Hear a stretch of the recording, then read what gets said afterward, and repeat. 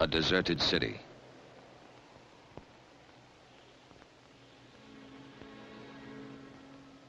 One human being left after germ warfare. He must defend himself against a group of demented survivors. In a new motion picture called The Omega Man, Charlton Heston plays Robert Neville, the sole uninfected survivor desperately trying to save the human race. The director of the film is Boris Sagal. As he and Heston begin filming Neville's struggle, the actor must seek to understand the predicament of the character he's playing. And he searches for an authority on the sources of man's behavior. Interesting kind of combination, I think. Of, uh... The man I'm talking to is Dr. Ashley Montagu, the well-known anthropologist. I'd read some of his works and found much in them that seemed to me relevant to the characterization of Neville. When we heard that Dr. Montagu was in Los Angeles, I invited him to visit the set. Of course, his uh, prime concern being his own survival and defense. I suppose the ultimate extension of uh, man as a killer ape. And this is where his culture had failed him.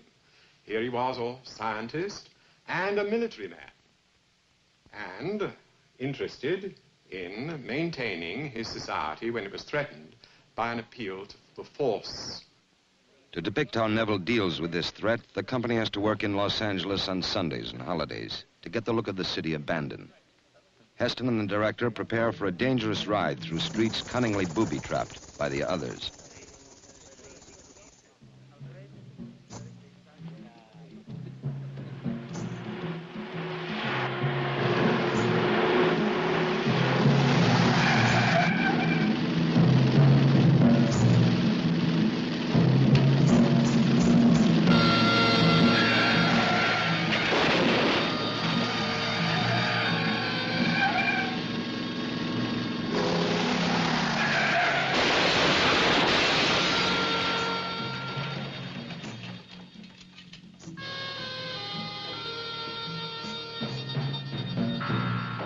Robert Neville's scientific background equips him to cope with his desperate circumstances, Heston expresses concern over his having no one to talk to.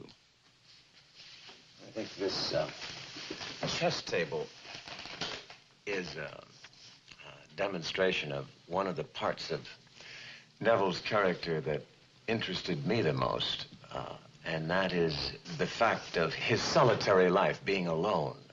In the piece, he plays chess with himself, or in fact, with a, with a bust of Julius Caesar, which comes to the same thing, and we're never quite certain of the degree to which he is aware that he is making the moves on both sides. It's a, a difficult condition. Did you move?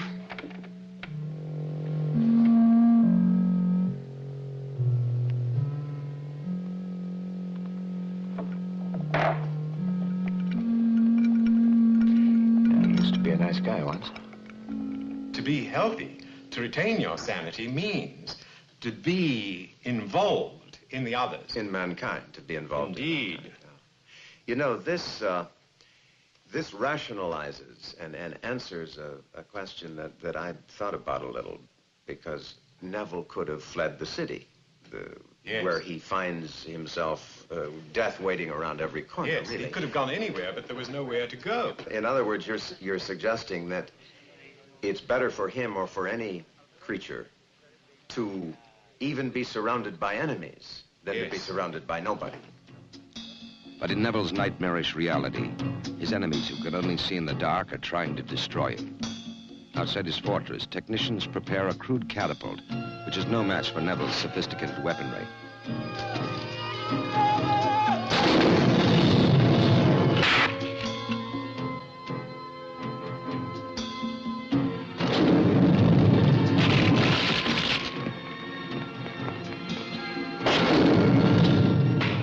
Unlike the others, Neville seeks only to defend himself by looking for their cure with his scientific know-how.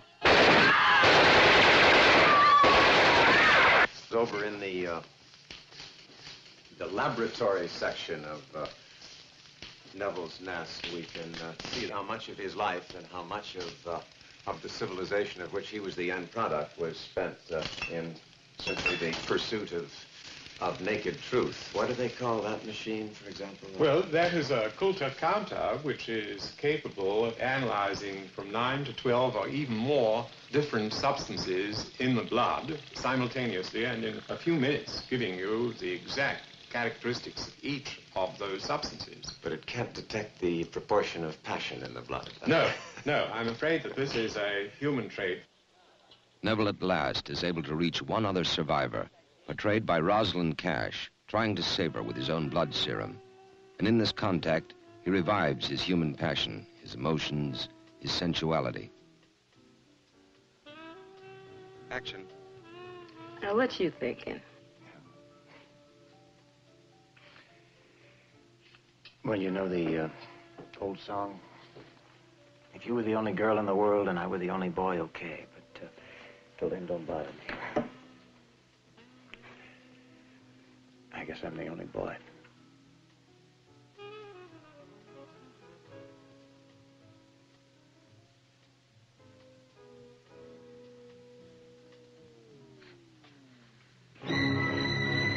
Family.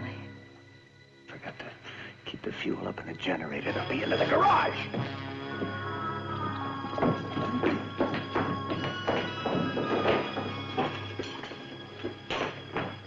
You stay here.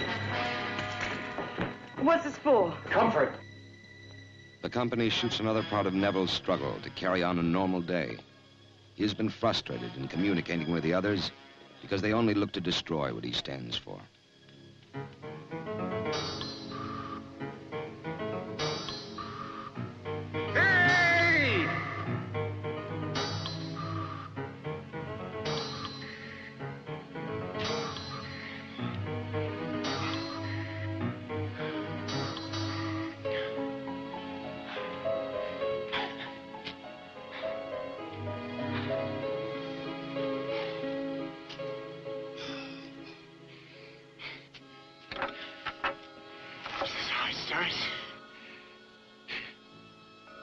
A trip to the Laughing Academy? It seems to me uh, that, at, at least I'm kind of playing it in these terms, that although Neville is physically healthy, is immune to this, this germ, that his life, his paranoid existence, has, has produced a kind of psychosis. Exactly. And this is, of course, the model and the pattern and the image of the condition of contemporary man. That Neville really exhibits the psychosis that most people in the Western world are suffering from at the present time. They're all suffering from the psychology of the survivor. On Sunday, the company works on the Omega Man. And as he continues to play out his role, Charlton Heston is coming to learn about Robert Neville.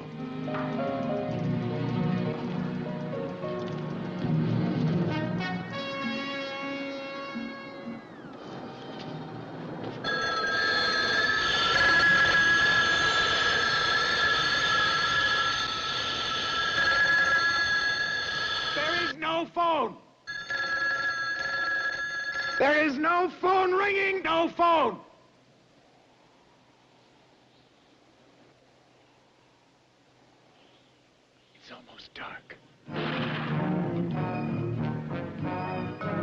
Could say he's a man trying to survive his own survival, his loneliness, his boredom, his inability to communicate with the other survivors who see or think they see the kind of man he is as evil.